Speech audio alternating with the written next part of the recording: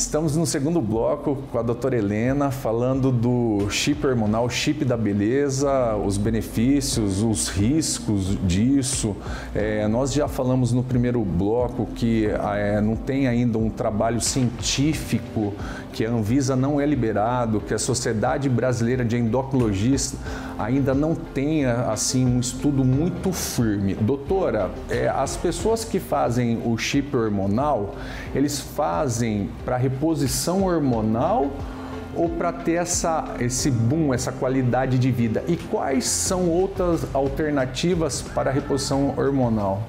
Excelente pergunta. Então, assim, quando você, a mulher ainda não está na menopausa e busca isso, geralmente ela busca para ter um aumento de performance, certo. a gente fala, né? Mas a gente sabe que eu dar uma carga hormonal é, com ela ainda produzindo, a gente acaba não chamando de reposição hormonal e nem sempre ela tem a necessidade dessa reposição. Quando a mulher está no climatério ou na menopausa, a gente tem que individualizar nossa decisão. Certo. Né? A gente considera muitos riscos. Antigamente, há 15, 20 anos atrás, se fazia reposição hormonal, Rodrigo, de toda mulher que entrava na menopausa.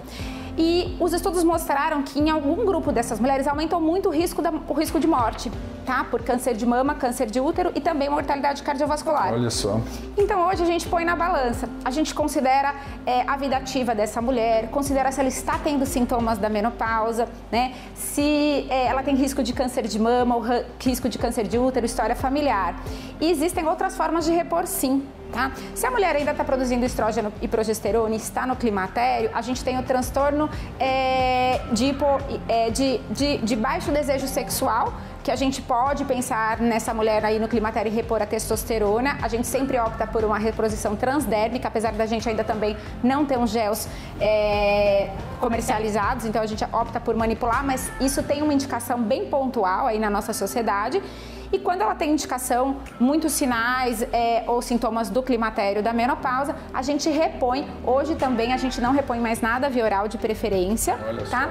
Nem, por, é, nem pelos implantes. A gente opta pelo gel, porque caso o paciente em 30 a 60 dias tenha algum efeito colateral, ou a gente consegue dosar, a gente consegue modular essa dose de uma forma mais segura. Não, mas o gel é fantástico, hein, doutora? É, é uma Nossa, boa opção. Nossa, uma, uma, uma excelente opção. Doutora, quem que pode se beneficiar? Que idade que é? É? Se uma menina de 18, 20 anos chega e quer porque a vizinha pôs, ela pode é, ter esse chip hormonal? Ela pode aderir a esse chip hormonal ou tem contraindicação às idades? A gente não indica é, o chip especificamente para nenhuma idade, né? Certo. Então a gente sempre procura buscar é, que a mulher tenha outras formas de conseguir melhora na, na qualidade de vida, na performance, tá? Uhum. Principalmente mulheres que ainda não estão na menopausa. Então a gente ó, não recomenda, a Sociedade Brasileira de Endocrinologia não recomenda, né? Mas é lógico, assim, que a gente tem alguns casos as mulheres às vezes procuram porque dosaram a testosterona, ela está baixa, né? E é importante a gente ver em qual situação que ela dosou essa testosterona. E deixar bem claro que os ensaios hoje laboratoriais disponíveis que dosam a testosterona, elas não conseguem ter um limite bem preciso, porque elas são feitas para dosar testosterona masculina, que é Entendi. acima de 200, 400. E a da mulher, ela é bem baixinha mesmo, geralmente ela fica no máximo até 75. Olha então, só. geralmente, elas vêm com essa indicação porque foi feito, porque foi dosado, a gente mesmo dosa porque tem algum outro sintoma, ou estão usando anticoncepcionais também que bloqueia a produção do, de qualquer hormônio andrógeno na mulher e pode aí afetar a libido, afetar a qualidade de vida. Então, primeiro a gente tenta abordar os outros fatores para depois pensar em algum outro tratamento mais é, agressivo. Doutora, é, o que, que você pode deixar de dica para a população de Três Lagoas e região para ter essa qualidade de vida sem usar o, os hormônios, os esteroides, o que, que seria interessante para nós? Tem alguma alimentação? Tem algum tipo de exercício? Tem alguma meditação para a gente melhorar isso daí? Porque assim, é, tudo que, que hoje foi conversado, lógico que tem fatores ótimos e tem algumas coisas que não são legais. E parece que é um, um elixir da juventude, né? Que parece que, que, que deixa você um pouquinho mais esperto em tudo mesmo. qual que é a dica assim que a senhora pode passar para a gente não entrar nessas reposições? Ó, isso, existe realmente, existem essas dicas e funcionam, né? Então, quando a gente pega um paciente, um homem ou uma mulher com baixos, sem usar nada, né? Sem usar contraceptivo, nada, tanto o homem como a testosterona baixa, geralmente é um homem ou uma mulher que dorme mal, gente, estresse, acima do peso, né, com gordura abdominal ou gordura visceral. E a gordura abdominal, ela é inflamatória. Então, geralmente, eu, eu, eu às vezes recebo muitos homens com testosterona baixíssima, de 80, 90, sendo que tem que ser acima de 200.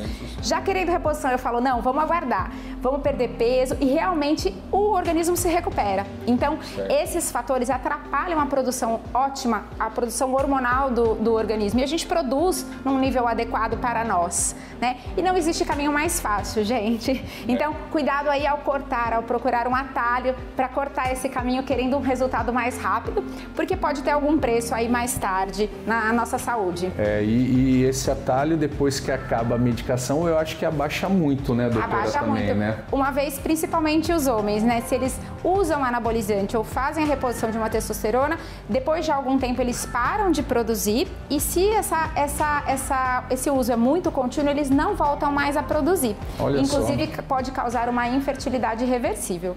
Doutora, então qualidade de vida, qualidade alimentação, de vida. sono, sono e meditação funciona também, também viu? e exercícios. e exercícios. Doutora, muito obrigado hoje por ter abrilhantado o nosso programa e gostaria que a senhora deixasse uma dica para a população de Três Lagoas e região. Vamos lá, pessoal? Eu deixo a dica aqui para vocês dormirem bem, tá? Manejarem aí o controle de estresse, não se preocupando com coisas desnecessárias, eu sei que não é fácil, mas aí sugiro uma respiração aí, meios de meditar e uma alimentação saudável que é fundamental aí para a gente ter o nosso equilíbrio hormonal. Doutora Helena, muito obrigado hoje por ter abrilhantado o nosso programa e até o próximo programa, gente.